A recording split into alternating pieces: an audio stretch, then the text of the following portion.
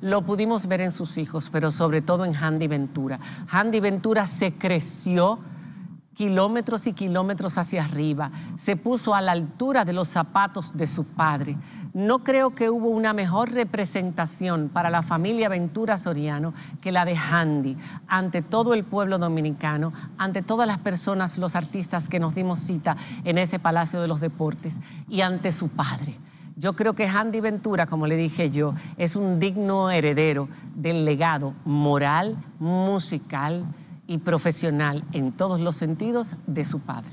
Y ahora, Handy Ventura, recordemos, tiene un espectáculo el día 24 que lo tenía nuestro querido Johnny Ventura, junto a tres maravillosos comediantes como son Jochi Santos, eh, Cuquín Victoria y, y Boruga. Y ahora Handy lo va a hacer el día 24 de agosto y vamos a estar todos ahí dándole el apoyo.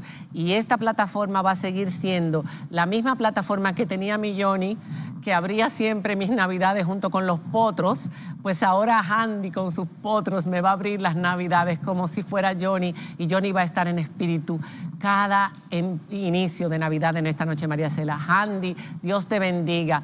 FIFA, orgullosa de tus hijos, de tu marido y del legado que dejó para el pueblo dominicano. Así es, definitivamente.